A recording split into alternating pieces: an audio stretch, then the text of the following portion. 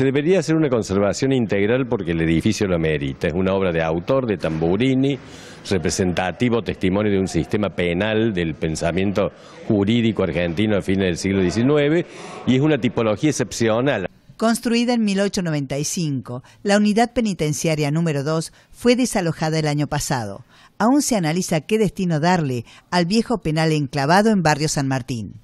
Un edificio por el que ha transcurrido el cura Brochero, que ahora va a ser beatificado en octubre en Roma, siendo párroco de la cárcel, dando misa, impartiendo ejercicios espirituales. Tiene que ver con los talleres, talleres de herrería, carpintería, mimbrería, alpargata, zapatería, con este sistema que se utilizaba para justamente regenerar socialmente a los reclusos a través de la religión, del trabajo, de las aulas, porque también existían aulas universitarias.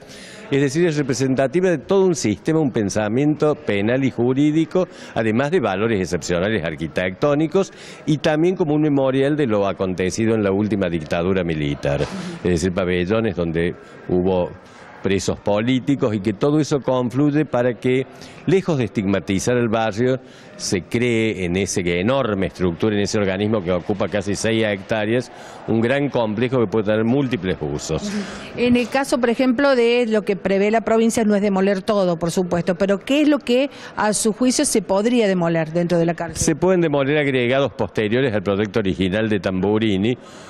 como son gimnasio, enfermería, un último gran, enorme galpón que ya está siendo demolido,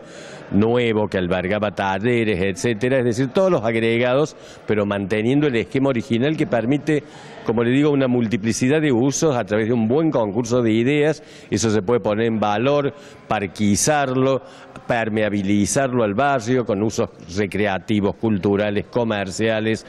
es decir, hay superficie y buen estado de conservación en general que una multiplicidad de usos para justamente revitalizar un sector que está hoy muy deprimido.